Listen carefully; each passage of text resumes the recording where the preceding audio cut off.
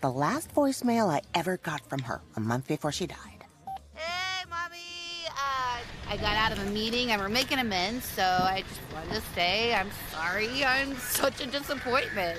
I'm sorry my platinum records clashed with the chic minimalism of your new sunroom. And I'm sorry I didn't introduce you as my older sister when we met David Hasselhoff at the Kids' Choice Awards. And I'm sorry I've never